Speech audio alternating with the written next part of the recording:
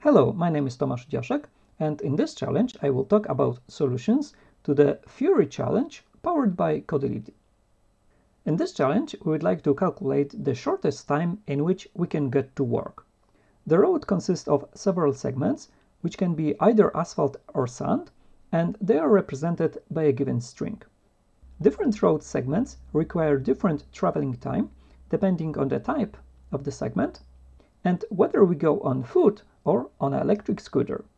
To be precise, when we are on foot, we need 20 minutes to pass through an asphalt segment and 30 minutes to pass through a sand segment. On the other hand, electric scooter is very fast on the asphalt. It only needs 5 minutes to pass a segment, but it's slower on sand. It needs 40 minutes there. We start our journey on the scooter, but at any point we can get off and continue on foot. Let's analyze the example test case. The first road segment is an asphalt one, so it's obvious that it's better to use scooter here, resulting in 5 minutes of travel. The next segment is a sand segment, so since going by foot is faster here, we can consider getting off the scooter and continue by foot. Since the scooter is no longer available to us, all the other segment we will continue by foot. The total traveling time in this scenario will be 135 minutes. On the other hand, we can decide to use scooter on more segments. Then the traveling time on the second one will be longer, but on the third and fourth will be faster we can get off after the fourth segment and the rest will go by foot. Here the total traveling time will be better 115 minutes. And in fact, this is the best possible answer for this test case. The first algorithm to solve this problem is pretty clear. Once we decide on the point on which we are getting off the scooter, the traveling times for all segments are determined. Therefore, we can sum all these times in a single linear loop over all segments. We have n plus 1 candidates on the point in which we are getting off, and for every candidate we're having a linear loop. Therefore, the total time complexity of this algorithm will be n squared. We are ready to implement this solution. First, we'll implement a helper function, cost, that will return a traveling time over a road segment depending on two parameters, whether we have a scooter and whether the type of the segment is a sand segment. Both arguments are just Boolean variables.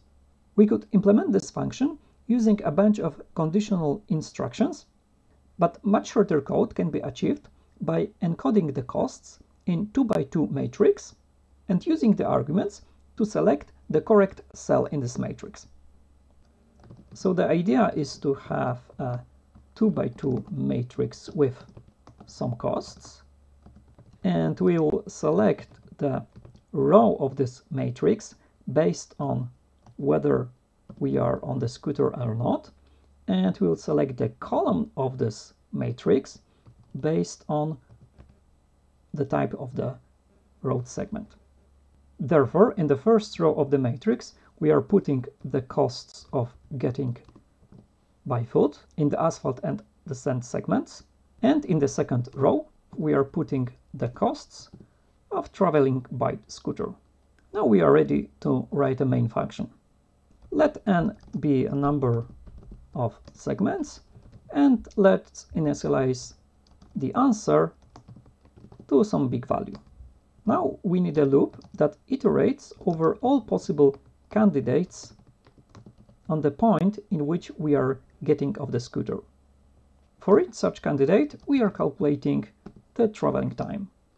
This requires another loop over all segments. For each segment, we are adding its traveling cost. For the first argument, we are putting whether we are on the scooter or not, and this is true if our position is smaller than the position in which we are getting off. And for the second argument, we are putting whether we are on sand or not. And this is true if the type of the segment in the string is S.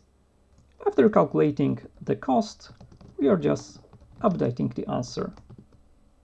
And after testing all the candidates, we just return it. Let's run the code. It passes test cases correctly, but since this is n squared algorithm and n can be as big as 10 to the power of 5, this code is not very efficient and will not get perfect score. To speed it up, we need to make an observation. After selecting a point in which we are getting off the scooter, we need to sum the traveling times of all segments before this point, assuming that we are on scooter, and the sum of traveling times of all segments after this point, assuming that we are on foot. Therefore, we need to add a prefix sum of scooter times and the suffix sum of foot times. We can pre-calculate both prefix and suffix sums in linear time. And then the cost of testing every candidate will be constant. Therefore, the whole algorithm will work in linear time. In the implementation, uh, we will precalculate the food suffix sums in an array and we will calculate the prefix sums for scooters on the fly. We will reuse our helper function and write the main function from scratch. We will need an array for our